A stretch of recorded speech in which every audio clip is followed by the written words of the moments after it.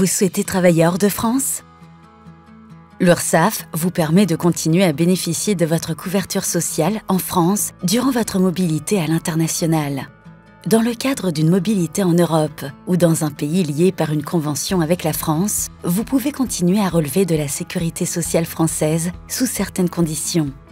Le service Mobilité internationale de l'URSSAF vous aide dans vos démarches et vous propose un accompagnement personnalisé, un formulaire de demande adapté à chaque situation, la mise à disposition de votre certificat de mobilité internationale dans votre espace en ligne, une offre 100% dématérialisée et adaptée à tous les profils.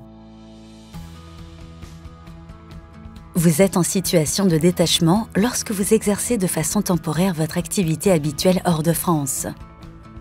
Vous êtes en situation de pluriactivité lorsque vous exercez une activité régulière ou de nature différente de votre activité habituelle au sein de l'espace économique européen, du Royaume-Uni ou de la Suisse et que vous conservez votre activité en France.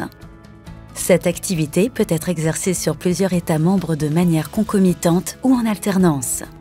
Après analyse concertée de votre situation professionnelle en liaison avec les autres États membres concernés, vous bénéficierez de la sécurité sociale d'un seul État membre. Dans ces deux situations, vous pouvez rester affilié à la sécurité sociale française sous certaines conditions. Pour cela, vous devez effectuer votre demande directement depuis votre compte en ligne. Le certificat A1 vous est délivré automatiquement ou après examen pour les situations complexes.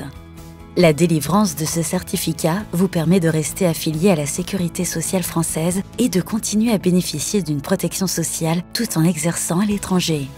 Alors si comme Pierre, auto-entrepreneur en reportage à Berlin, Laure, professionnelle libérale qui exerce également en Italie, ou Léo, artisan qui a un chantier à Tunis, vous voulez partir en toute sérénité, ayez le réflexe URSAF, service mobilité internationale.